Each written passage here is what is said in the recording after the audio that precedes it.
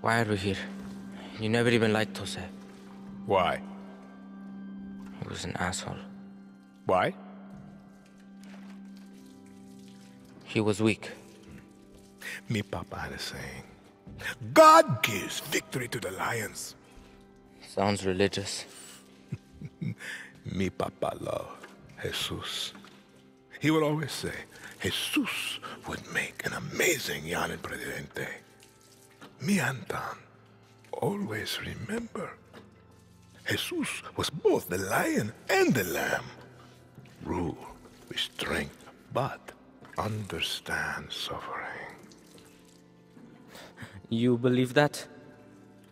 After he was murdered, your grandmother and I were left to survive alone. She would always remind me of my father's obsession with that verse. She hated it. Why? Because he had it all wrong. Be the lion and the lamb? No, she would say.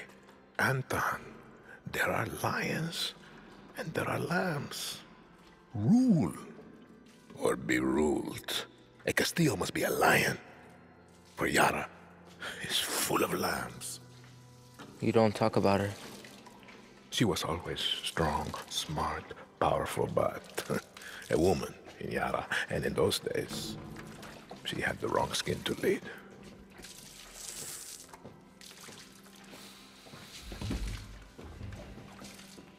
Me papa was a lamb. Jose is a lamb. You want to know why we're here?